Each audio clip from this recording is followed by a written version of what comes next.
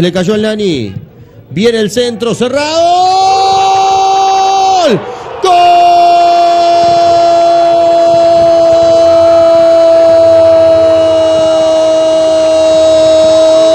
Delito Fontes. Martín Fontes aparece con los ojitos bien abiertos en la puerta del área chica para meter gran frentazo y mandar la pelota adentro.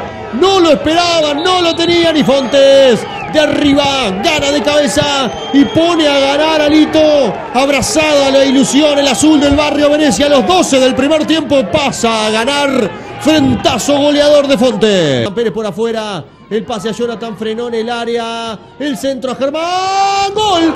¡Gol!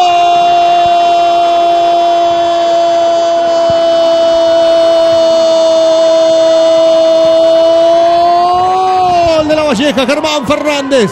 Lo tenía guardado, lo tenía pronto, lo tenía ensobrado al gol. El delantero sensación de hace un año y medio en la selección juvenil aparece en el momento más candente, cuando más lo precisaba su equipo, cuando más lo necesitaba el sueño de ir por el campeonato. Centro de Jonathan Pérez y desvío certero a la red para el primer festejo en el minuano del pelado.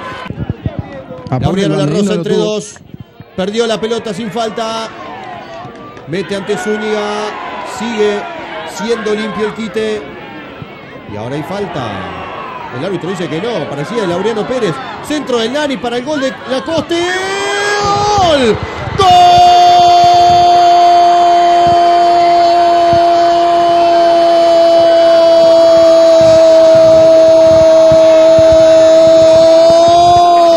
Delito Lacoste.